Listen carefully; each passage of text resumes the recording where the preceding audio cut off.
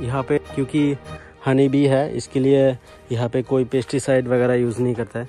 We don't recommend any insecticide और pesticide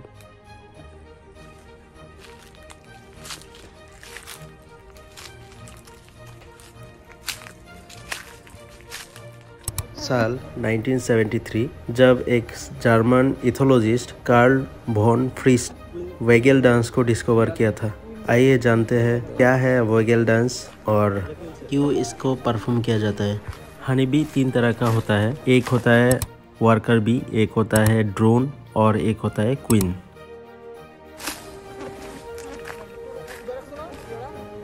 तो actually ये डांस वर्कर भी परफॉर्म करता है।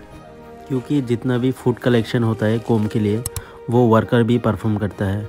उसके लिए एक पोलन बास्केट होता है। उन लोगों का हैंड लेग में।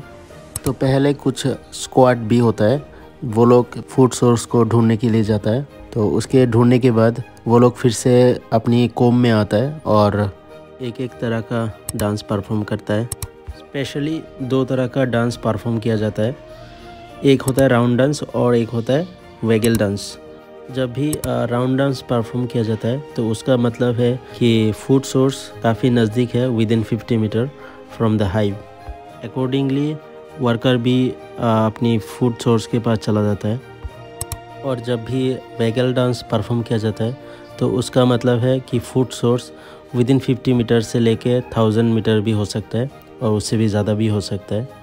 तो वेगल डांस में एक खास बात है कि इस डांस में डिस्टेंस के साथ साथ डायरेक्शन भी इंडिकेट किया जाता है। वेगल डांस में डांस का जो एंगल होता है, वो सन की डायरेक्शन से एक सर्टेन एंगल में होता है जिससे कि अपनी फ़ूड सोर्स से नेस्ट का सोर्स का डायरेक्शन पता चल सके। वेगल डांस में फ़ूड सोर्स जितना भी दूर पे है, उसका हिसाब से नंबर ऑफ़ राउंड्स कंप्लीट किया जाता है। Within one quarter of a minute तो जितना भी नंबर ऑफ़ सर्कल कंप्लीट करता है, उसका हिसाब से वो लोग अपनी फ़ूड सोर्स का डिस्टेंस पता लगाता है।